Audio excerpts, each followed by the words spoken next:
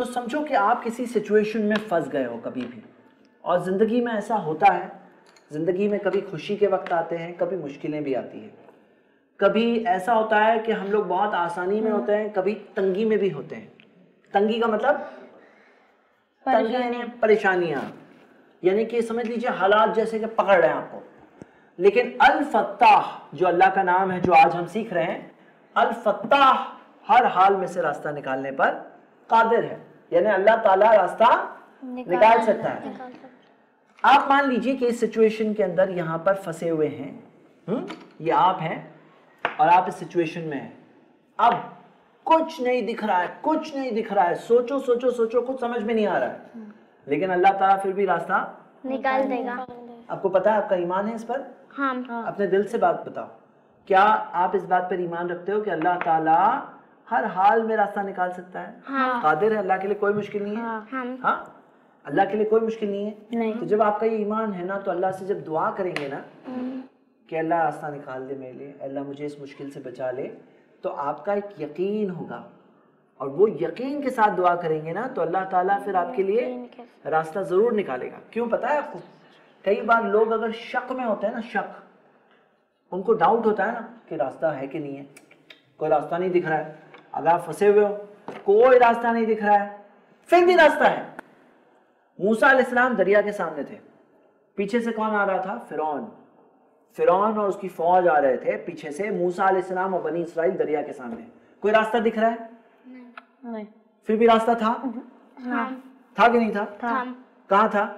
دریا پھاڑ کے دریا کے بیچ میں سے راستہ نکلنے والا تھا۔ اللہ قادر ہے؟ اللہ نے انہیں بچایا کہ نہیں بچایا؟ موسیٰ علیہ السلام سے بنی اسرائیل نے کہا موسیٰ انا لمدرکون موسیٰ ابھی تو ہم لوگ پکڑے گئے ابھی تو پھنس گئے یہ کہاں لے کر آئے؟ سامنے دریا پیچھے فرعون۔ فرعون اور اس کی فوج جو چھوٹے چھوٹے بچوں کو مار دیتے تھے اب وہ آئے ہوئے مارنے کے لیے۔ تو آ کے گلے تو نہیں لگائیں گے نا؟ ہاں؟ لیکن اللہ تعالیٰ نے راستہ نکال دیا۔ اسی دریا میں موسیٰ علیہ السلام اور بنی اسرائیل بچ کے نکل گئے۔ اسی دریا میں فرعون اور اس کی فوج ڈوب گئے۔ اللہ کے رسول صلی اللہ علیہ وسلم مکہ سے نکلے تھے۔ اور مکہ سے جب نکلے تھے ان کے ساتھ میں کتنے لوگ تھے بتاؤ؟ دو۔ دو لوگ ایک ایک۔ ایک کون تھے؟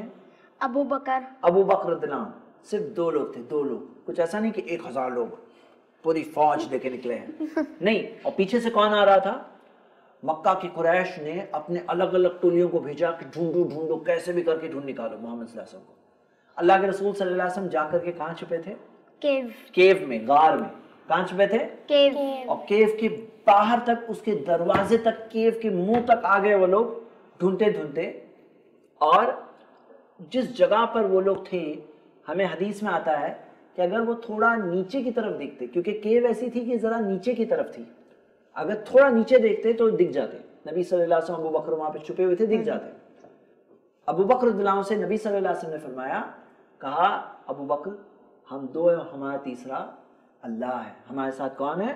اللہ ہے۔ تو میرے بچوں اللہ کا نام کیا ہے؟ الفتاح۔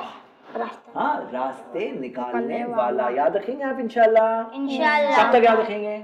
ایک گھنٹہ؟ نہیں۔ ہمیشہ۔ ہمیشہ۔ ہمیشہ۔ ہمیشہ۔ کیوں؟ ہمیشہ کیوں؟ کیونکہ کام آ سکتے ہیں جب ہم پھنس جائیں۔ صحیح بات ہے۔ جب تک زندگی ہے ہاں تب تک یاد رکھنا۔ اور دنیا سے جب گئے تو اللہ کے پاس گئے، پھر تو کوئی فکر کی بات نہیں ہے۔ صحیح ایمان اور عمل کے ساتھ جائیں۔